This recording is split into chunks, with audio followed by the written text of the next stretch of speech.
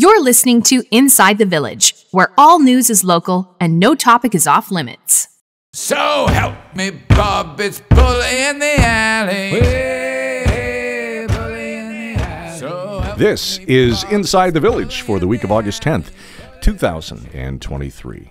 I'm Scott Sexsmith alongside uh, Michael Friscolanti, editor in chief uh, here at Village Media. Derek Turner is uh, MIA this week, uh, enjoying a, uh much deserved vacation.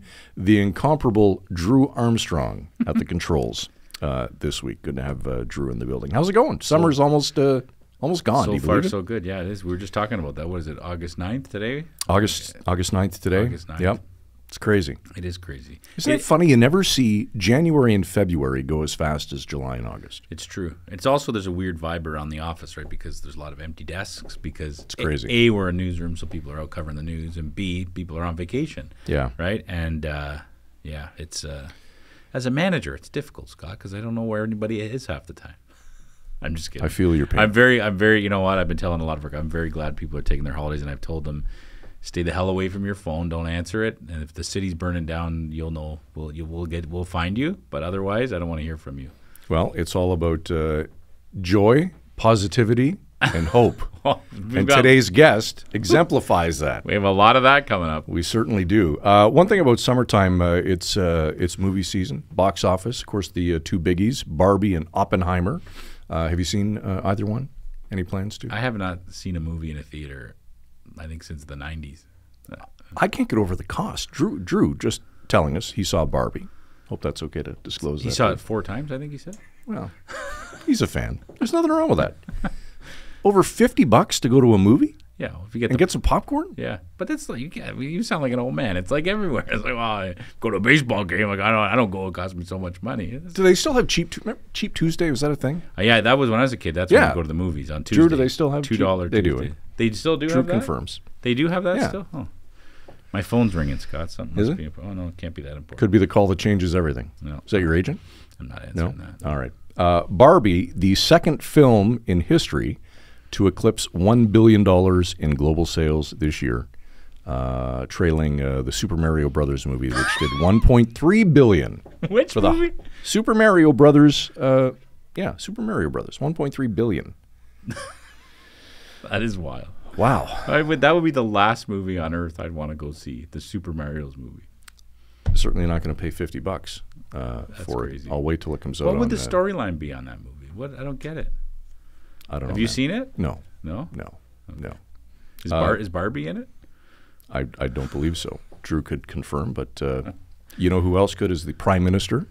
Uh, he's in the news. Uh, took his 15 year old son to see Barbie. They were wearing uh, pink shirts. Good for them. Posted it, and he's being eaten alive on social media. What are what are people saying? Well, of course, he and uh, uh, Sophie, his wife, just recently announcing their uh, separation, asking for privacy. And I guess uh, the gist of where the heat's coming from, uh, he asked for privacy and then posted a picture of he and his son going out for a movie night. I don't know. Is that bad? I don't, I don't like to weigh in on these things, good or bad, but when I hear a politician ask for privacy, especially a prime minister, you're just not going to get that. You're the prime No. minister, right? So I mean, I, I I mean, I understand it's not easy what they're going through, but I guess if you ask for privacy and then post a photo, uh, people are going to have opinions. But I don't know if is it any different than people's opinions of Trudeau right now in general, or any prime minister in general. People always Yeah. have strong opinions. On that. Absolutely. Uh, to his credit, um, and this is by no means an endorsement, he uh, did balance things out by taking his daughter uh, the other night to see Oppenheimer and posted a picture. He did. He did. What were they wearing? I, I, I can't remember. I just thought it was neat that uh, he took his son out to see uh, to see Barbie, posted a picture, and then took his daughter to see Oppenheimer, posted a picture. I will not be seeing either of them, Scott, Certainly not unless you pay for it. Well, need a raise to make that happen. All right, uh, let's uh, press ahead here to the uh, first word to Frisco. Some breaking news uh, from our crack staff at the Trillium regarding the Greenbelt situation. Yeah, as we sit here today, this is the day that the Auditor General was releasing her report on her look uh, investigation into the Green Belt. And it's a bombshell. Um, we've just posted a today's story from the Trillium. Aidan Chamandy, Charlie Pinkerton, and Jessica Smith Cross, part of our crack team over there at Queen's Park.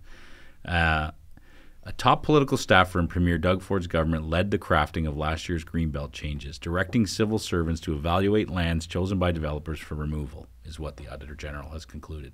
About 92% of the land removed from Ontario's signature protected area last year was made up of five sites that had been proposed by Ryan Amato, Housing Minister Steve Clark's Chief of Staff, by two developers who sat with him at an industry dinner in September of 2022. And here's the quote from Bonnie Lysyk. This the exercise to change the greenbelt boundaries in fall 2022 cannot be described as a standard or defensible process.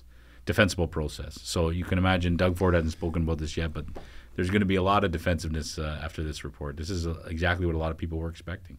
That seems uh, very backroomish yeah, it's it's pretty damaging, uh, and we'll see how the day unfolds with uh, what Ford and his government has to say. But uh, just to remind everybody that the Trillium staff's been doing fantastic work at Queens Park and reporting on these serious issues, including the green belt and uh, you can find them at thetrillium.ca. Absolutely. Check it out and uh, subscribe today. Some of the best writing you will see anywhere. Okay, moving to Sault Ste. Marie uh, and an unusual uh, fire uh, slash arson situation. And there's so much to unpack here. I don't even know where to start. Yeah, this is one of those stories uh, as an editor that is difficult. We make decisions all the time. We're not, you know, I like to say we're not saving lives over here. We do some, I do believe we have a hugely important role to play in society as, as being the independent watchdog and being journalists. But we make difficult calls every day. And this is one of those local news calls we made where we obtained videos, a couple of different videos of a crime that occurred in the downtown core in broad daylight on a Saturday morning. Um, one man had a jerry can and was tossing gasoline at another man and lit him on fire. Um, it was a brief. He was on fire for you know a few seconds, managed to get the shirt off and stamp it out. But you know, pretty horrible crime to happen at any time of day, but especially at nine in the morning on a Saturday, where people are driving by, walking by. And uh, of course, we've been criticized by some people saying we shouldn't have published this, we shouldn't have you know posted this video. But I'm of the belief that we can't um, turn around and pretend we don't see things, right? I mean, this is uh, as many in many communities where we where we have uh, our news sites, many of the communities we serve, the downtowns have become a, a flashpoint of debate. Absolutely, how what to do with the downtown, whether it's safe for people to be there, how do we improve the downtown, how do we help serve some of the vulnerable people who are there and it's no different in Sault Ste. Marie. It's a constant discussion. The word downtown just brings about all kinds of different emotions. And my thing is, I'm a, I'm a, I'm a defender of downtown. I go there. I, I enjoy the businesses down there. We, we, we're there all the time. Our office is in the heart of downtown. Yep. Um, but at the same time, we can't pretend that a crime like that didn't happen. Um, so I would totally uh, defend our, our, our um, rationale for posting that. I know some people are upset about it. But this is the news, and we cannot pretend we don't see things. That's kind of my mantra.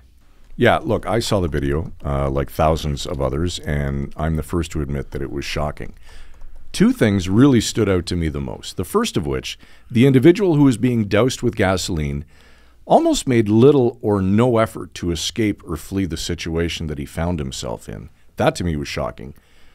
Moreover, and perhaps even more shocking than that, was the fact that the bystanders who were witness to this did absolutely nothing to help almost like it was an acceptable occurrence. Yeah, like it happened every day. Almost, Absolutely. Right? And that was part of the thinking of us releasing this video, right? Is because this uh, video we we obtained multiple angles of this video, that this incident. So we had two different videos we put together, and they, we had them right around the same time as the police had made an arrest in this case and laid a charge. It took about a week for them to find this individual, and again, he's innocent until proven guilty.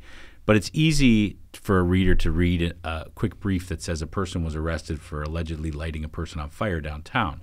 But to actually see it, because you, would gloss over that. It's like, oh, police put out a press release about a guy being arrested. Okay, wow, that's crazy. That's terrible. But when you actually see the video, you can see how it unfolded, and it really brings it home for you. It's like, wow, this actually happened down here. And so, you know, as journalists, I feel like we're always trying to drill down as deep as we can. And this is one of those cases where we did have footage of it. We're going to show it to you. I mean, this is local journalism. We're showing you what happened in your community, and I think it's fair game. And I don't know how you can't, uh, to be perfectly honest. Uh, the good, the bad, the ugly. Uh, we have to show it, but I mean, it, it, it, begs the question: What the hell is wrong with yeah. the world today that this is, you know, seemingly okay that nobody wanted or, or cared to do anything? Well, the good, the bad, and the ugly is exactly the way I look at it. That's what I feel like our role is, right? We, we tell a lot of great stories about what happens in Sault Ste. Marie. We also tell some bad stories, and we tell some ugly stories. And you have to have that variety. You have to have that place where you can go and say, I trust what these guys are telling me. They're they're they're keeping their eyes open for what's happening in the community. If we don't have that, imagine what people where would they be getting their information from? It would all just be rumors and whatever. So Yeah. yeah, we need that. Sadly, none of it, uh, none of which you'll read on Facebook, but that's uh, Yeah, that's another story. story for another episode of ITV. All right, to uh, a little more happier news, a great story uh, from uh, wonderful reporter Jessica Owen from Collingwood today uh, about a couple who have been together and married for 70 years. Yeah, you know it's funny, right? In local journalism, we often write about you know the lo- the local lottery winner or the local couple celebrating 50 years, or the local couple or the you know the person celebrating their hundredth birthday. We do those stories; they're important. You know, like we just talked about the good, the bad, the ugly. These are great stories. We want to Yeah. shine a light on those people so celebrating those kind of milestones. But have you ever seen a couple married for 70 years? I've never, I've No. never heard of that. So I had to actually go check the dates. So um, this is uh, the Bouchers, right? So uh, Howard and Verna Boucher. Right. Uh, they he was he's now 92. She's 89. So if my math is right, that means she was 19 and he was 22 when they got married. And they've been together for 70 years. I mean, that's that boggles my mind. We've been doing this show for one year. I mean, could you imagine 70 years? No, it's crazy. no, and we don't even live together. No, I know.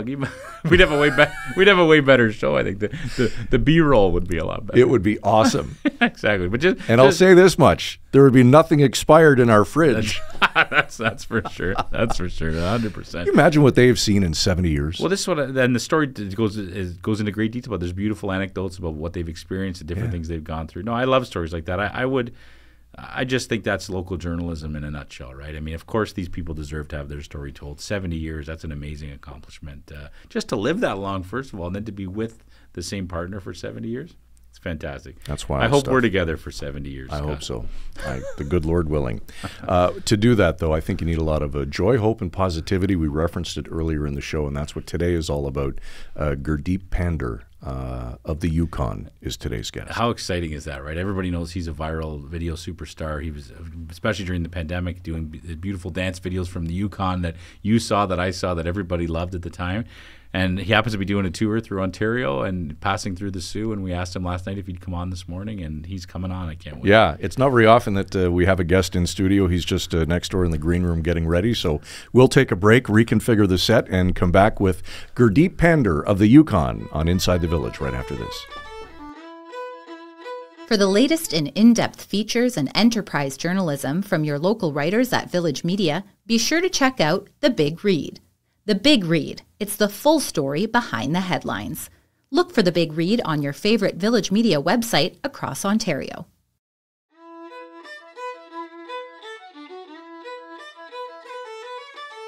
Welcome back to Inside the Village with Michael Friscolanti, editor in chief here at Village Media. I'm Scott Sexsmith. Uh, not very often that uh, we sit side by side, but we only do it for very special occasions. Uh, and today is certainly uh, one of them. He's uh, danced uh, for the past few years like no one has been watching, yet millions of people worldwide have, in fact, been watching. And we are absolutely thrilled to have Inside the Village with us today, Gurdeep Pandher of the Yukon. Gurdeep, welcome to Inside the Village. Welcome to Northern Ontario. It's great to have you. Thank you very much, Scott. Thank you very much for your kind and warm words. And I'm so thrilled and feeling wonder- wonderful to be in Soo, and I'm enjoying this amazing city. When the pandemic uh, first started, uh, you became a part of much of our lives uh, through your uh, social media posts, spreading joy and positivity, because goodness knows we all needed it. Did you ever think back then that you would get to where you are now? Absolutely no.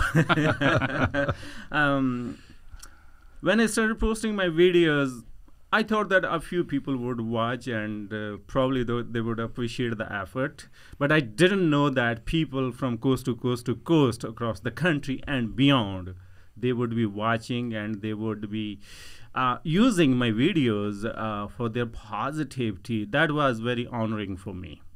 It was amazing. I mean, I remember watching. I mean, I don't think anyone that I knew didn't see them. Uh, They would just pop up, and my wife especially was just she couldn't get enough of them. Everyone you posted, she was watching. Can you kind of start for take us back to the beginning, Gurdeep? Uh, how when you came to Canada and how you got into this? Uh, how did how did it all start?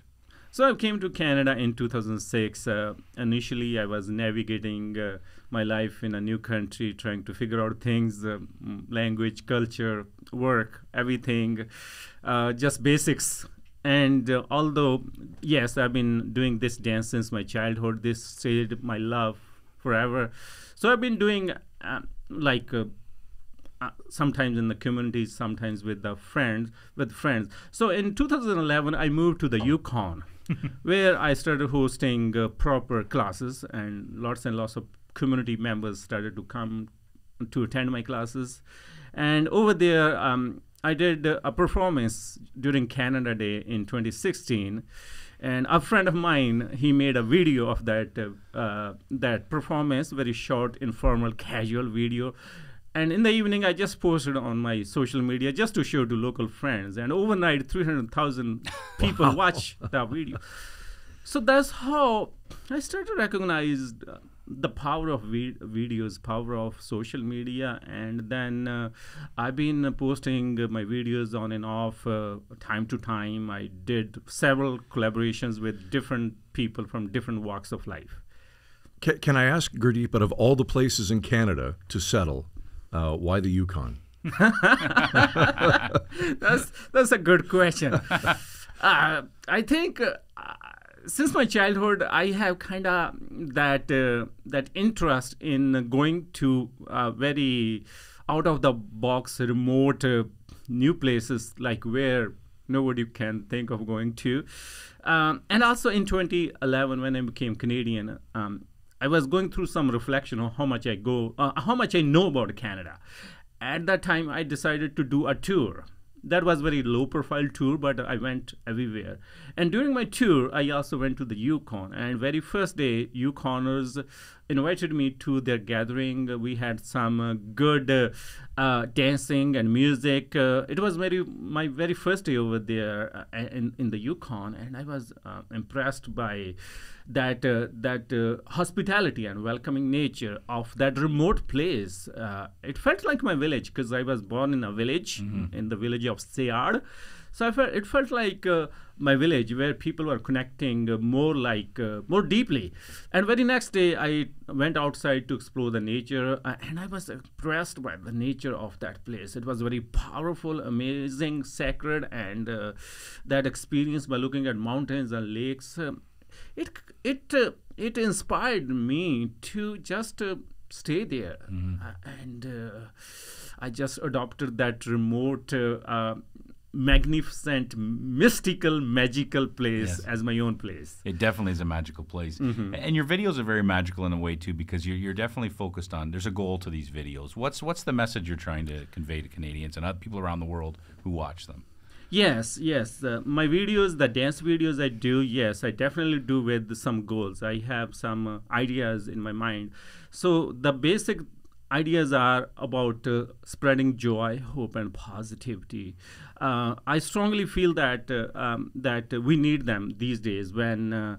Uh, we all know that we are going through some interesting times when uh, we have lots and lots of going in our lives. We have busy lifestyles uh, from back to back uh, in work and at home. Sometimes it's hard to find balance between life and work. Uh, and uh, there are some, several issues in our lives like financial health. Other issues we never know and also we live in in the age of information. You folks are working in the media. You know that so much information is there. Information information information. You open up um, any app or website. Um, there's so so many things to process. And and people the cons- consumers of tho- that information sometimes they get overwhelmed with lots of information although information is great where if information is correct but sometimes there's a lots and lots of uh, other kind of information is also coming into our, our feed. And that also creating sort of depression like mm, some mental health some other things. Sometimes people you start your day uh, with, with a happy note like uh, you're smiling uh, you're feeling great and suddenly you open up your phone and open up that app and that headline. It showed up and now you're not feeling that great anymore. so so there and and and we'll we live in a in a world these days. There's there's the there are lots and lots of opinions. Although it's great to have opinions, sometimes opinions clash, and sometimes it also leading to uh, different divisions in the society and in the world, which is not good. So I feel that with the joy, hope, and positivity, it's not just a, it's not just a mental health for your well-being. Uh, yes, it is, but it goes beyond.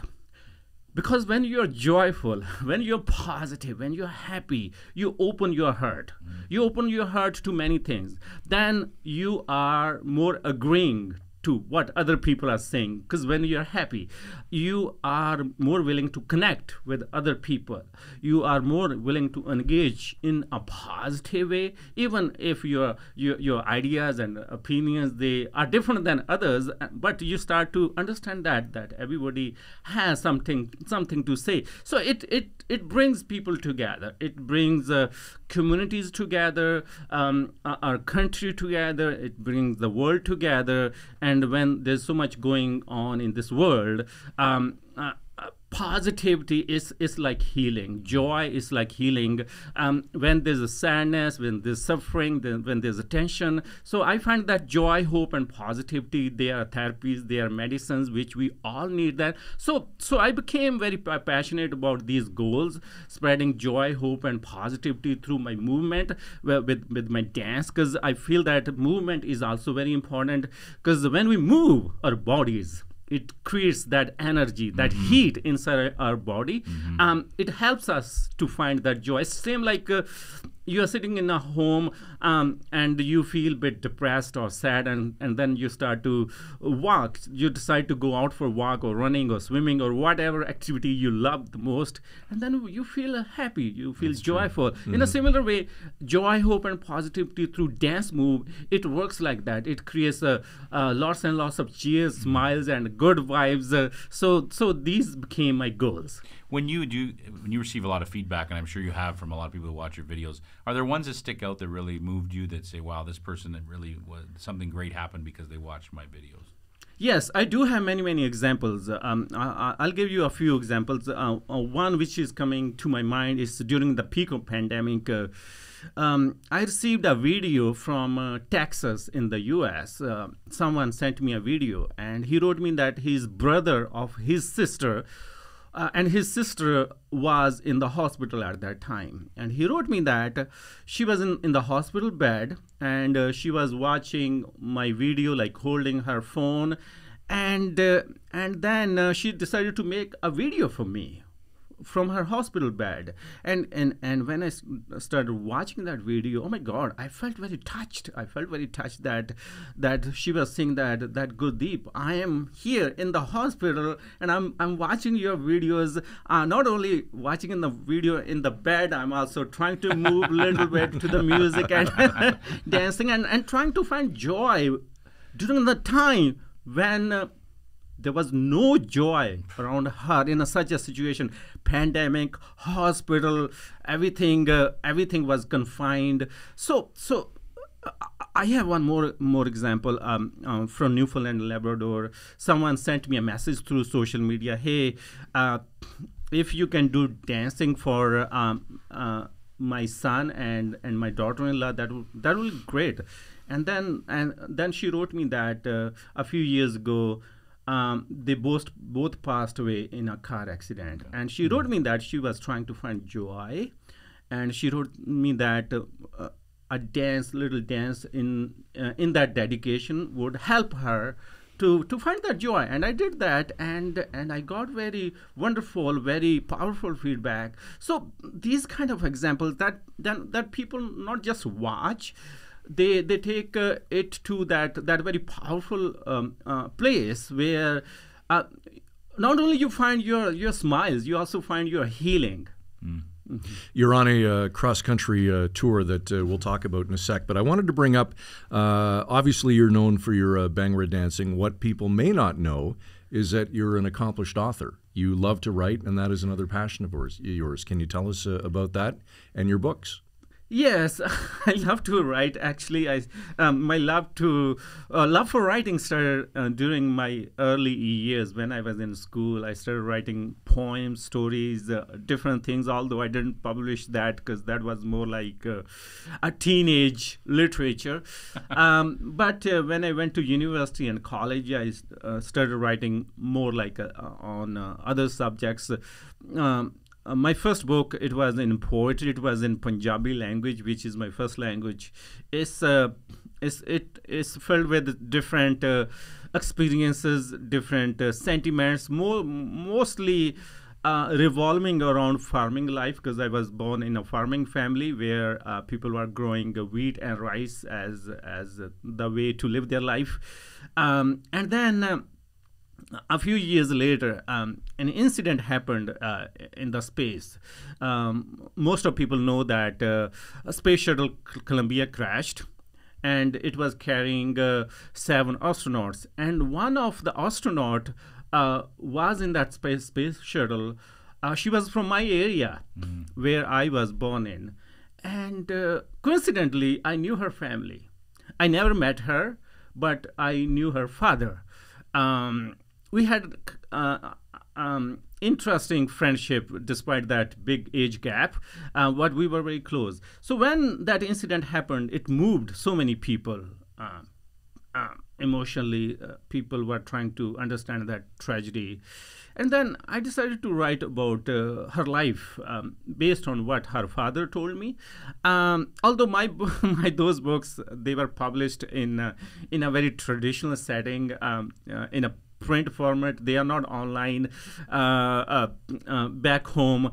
But I'm trying my best to um, bring those books into like modern, um, like uh, online uh, platforms so that people can buy. And I'm also trying to write a new book. Um, probably in 2024 next year you will uh, hear a news from uh, um, from me about my upcoming book. My upcoming book is all about what I've been doing now. Um, it would be filled with things about joy, hope, and positivity. And uh, I feel that uh, um, what experiences I'm, I'm gathering by meeting people, dancing at different settings, uh, or, or some philosophy, um, that book will be filled with those kind of elements. Well, now you have the opening scene of your book because you've been on Inside the Village. That's right. right? we, we now we now know what you lead with. You, you finally hit the big time. So. okay, so uh, cross Canada tour. You started on the East Coast. Uh, you're headed back to the Yukon. Mm-hmm. Uh, tell us about the tour. Maybe some highlights. What it's all about. Yes. Um, so my tour is all connected with my videos uh, during the pandemic. So when people were watching the videos they were sending me letters and things. I was feeling very touched by by this reflection. That was uh, creating a reflection in my heart that why people are sending me videos why people are making my paintings and sending me uh, all these kind of things why they are spending their time. And then i learned from them through their messages or letters that uh, actually they are appreciating joy. They wrote me in their messages that uh, there has been uh, sadness, suffering in their life and uh, the world around them, and uh, they just appreciate uh, me or my work uh, that that I create this positivity. Then I decided that when we will get some relief from pandemic, I would go and visit their communities and uh, and wherever I can do where, wherever I can go and bring the same message in person which I was doing online through videos. So then I decided to do this cross the country tour. I started last year because last year we got some relief from this. Yes. Um, I started it from uh, East Coast. I I went to Newfoundland, Labrador, Nova Scotia, PEI, New Brunswick, Quebec, and by the time I reached Ontario, it was already October and it started to feel like wintry sub-zero temperatures as a night. Although i don't uh, mind sub-zero temperatures you're I, used to it. Yeah exactly. i live uh, in, in a cold where it's, uh, it's, uh, it's, it can go minus 40 but uh, but in a van because i'm traveling in a van van is it's a very humble um, van. So uh, it was really cold in the van. So i decided to pause my tour and uh, with the intention to resume it uh, next year. So this year I started this tour from Ontario, and now I'm heading towards uh, um, uh, eastern provinces. Like after Ontario, I will go to Manitoba. And highlights, yes, I have really, really amazing highlights during that the tour. That has been magnificent. I, I'll, I'll tell you. I was in, in New Brunswick, and uh, there's a, is a, is a very small uh, community, St. Andrews, um, uh, uh, in the south of New Brunswick. Um, and I just parked my car and I decided to take some break. And someone parked their car behind my car. And I noticed from my mirror that someone parked their car behind me, uh, but I, I didn't uh, think much at that time. and that person came out of their car and reached me, and I lowered uh, down my window, and uh, they pulled a hundred dollar bill and uh, put on my hand. It, it, it, happened so quickly that even I didn't ha- had any time to think. And and then I, I asked, "What is this? Why are you giving me money?" and and that person told me that that that uh, she she had been watching my videos for a long time and uh, she had been using my videos for her positivity and joy, and, and that was very big it's not it's not hundred dollar bill bill. It's more like how people uh, are receiving it, how people uh, people were finding it, how people uh, were feeling impacted, and they were trying to give back to me in in the way they they could. I have a similar one more example. Um, uh, I was doing uh, in uh, my, my, my workshop, uh, someone came in their wheelchair. Um, that person was probably in uh, his 80s. And uh, after the workshop, and he came in front of me face to face. And he told me that, Gurdeep, I usually don't go to dance workshops or these kind of things anymore. He said that he wanted to come to let me know something face to face eye to eye that this positivity, this joy, this hope, it helped him a lot during his difficult first time during the pandemic. And his eyes were meeting my eyes, and the emotion, those uh, happy tears, I was looking uh, at his face. Oh my God, it just moved me so deeply from my inside. It's very simple but beautiful, very powerful um, uh, uh, uh meeting, uh, but it it it made me realize the power of positivity, power of joy.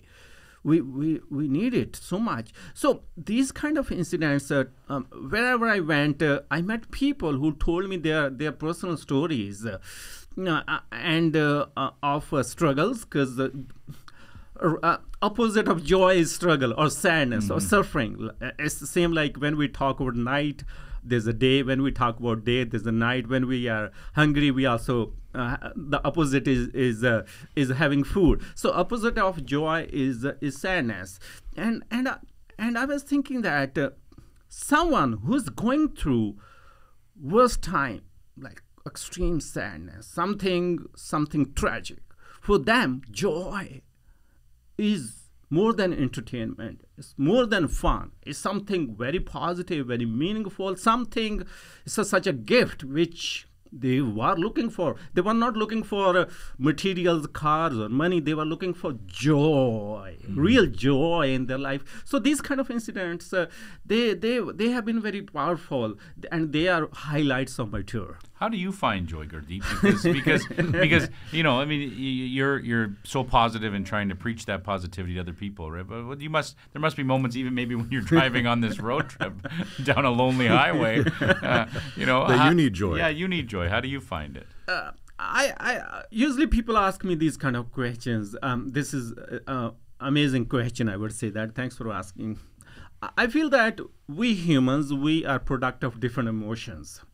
Uh, sometimes we are joyful some other times we are not. Sometimes we are in between sometimes we are sad maybe a bit angry or or some new kind of emotion because emotions are not three or four times there are hundred types of emotions.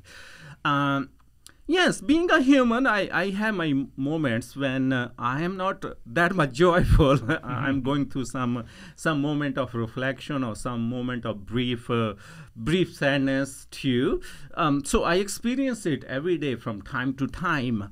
Uh, how I find it, I I I strongly believe that believe in in this philosophy of moving on. I find that uh, yes, things happen in our life. Sometimes we lose things. Sometimes uh, we are in situation when our health is not cooperating, or other things happen, financial loss, uh, loss of a family member or dear friend, or something like that. We grieve, and it's it's okay to grieve, and it's important to grieve because we had a very important connection with someone. Uh, but it's important to come back so moving on is is very important. So i find my my my joy moving on. Even if i had lost something i i process uh, and i i dance. I dance to clear my mind because it really helps. Activity physical activity it really helps uh, clearing your mind and it it brings me to the place where i am joyful again. I am happy again. So so it's it's okay to be sad, but uh, but uh, don't stay sad for a long time. You can be sad for uh, one hour, two hours, or one day, or maybe maybe two days if something's really serious going on, but you come back to your home of joy. I spent some time uh, on your website, and there's a lot of great quotes. Uh, there was one that I uh, I jotted down that stood out to me, uh, and I want to read it uh, for everybody. It goes like this: Embrace change and enjoy your life as it unfolds. The hardest part about growing is letting go of the life you were accustomed to and moving forward with something new. Sometimes you have to stop worrying, wondering, and doubting, and instead have faith that things will work out for the best you uh, you, you really are a glass half full. Uh, you epitomize that glass being probably more than half full.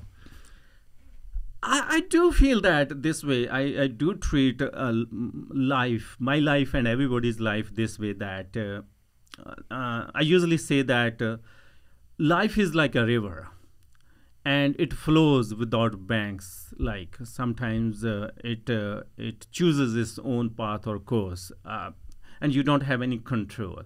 Sometimes we expect life to run in a certain way. We have some plans, some ideas, some frames. We want to, to go straight or this way or this way, but we don't let it flow the way it wants to flow.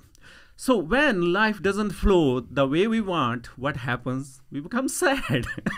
we become unhappy. We regret. We find, uh, uh, although uh, as a reminder, there's nothing wrong with being sad. However, during that time, uh, it's uh, important to understand that that life is always like that for every single person in the world.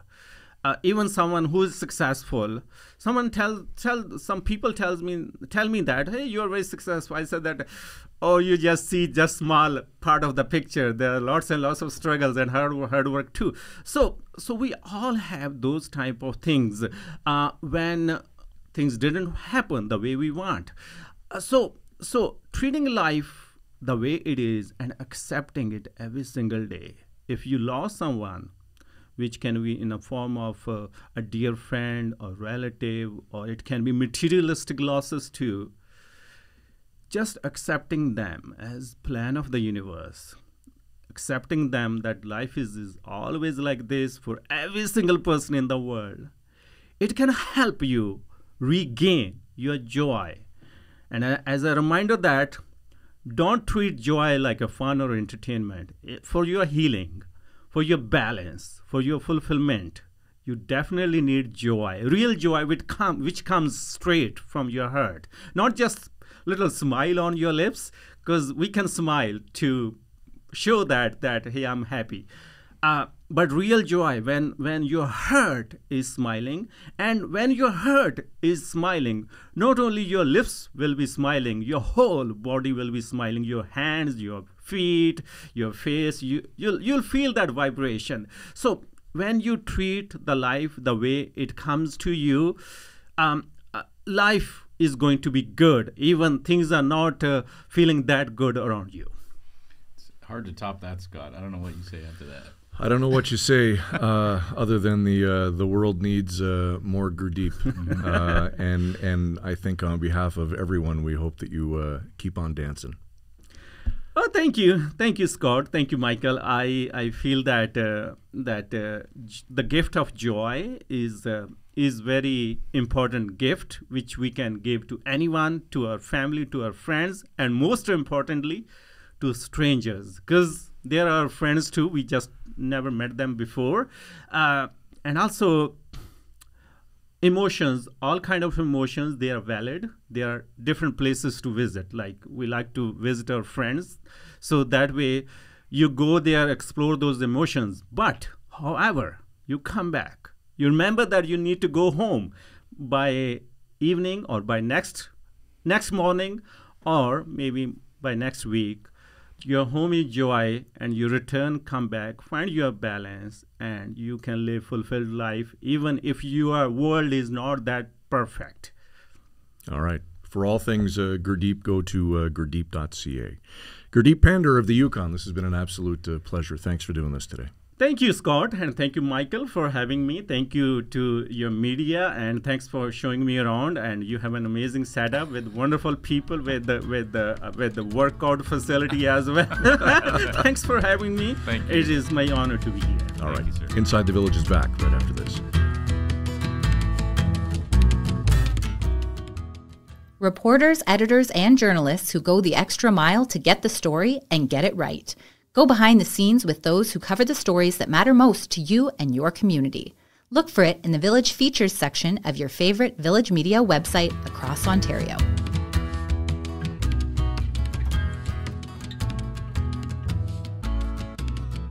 Back to wrap on Inside the Village. Michael Friscolanti, editor in chief at Village Media. I'm Scott Sexsmith.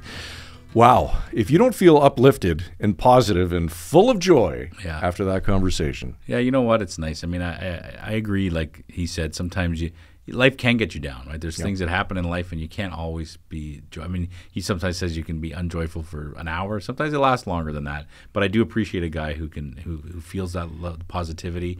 And I met him on the when he came in this morning, and his van like is labeled like joy, positive. Like I was I was worried, is he gonna? Am I gonna recognize his car?